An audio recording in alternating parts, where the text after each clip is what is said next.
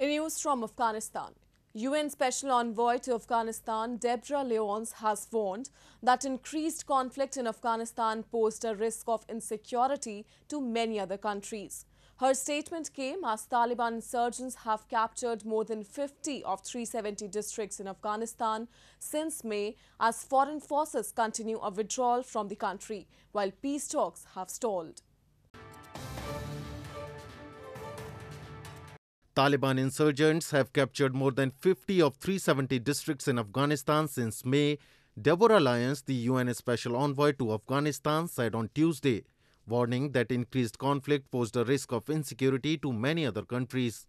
Lyons told the 15 member UN Security Council that the announcement earlier this year that US forces, along with personnel from NATO countries, will withdraw by September 11 sent a seismic tremor through Afghanistan. But the relentless spirit of the Afghans and their incredible resilience is being severely tested, and the possible slide toward dire scenarios is undeniable.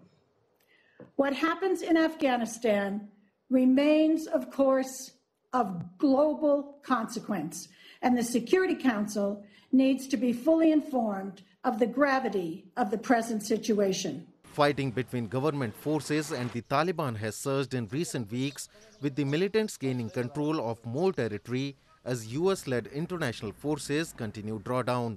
In the latest, suspected Taliban fighters on Wednesday fired a rocket into a hospital in eastern province of Kunar, sparking a blaze that caused extensive damage, though there was no reports of casualties, officials said.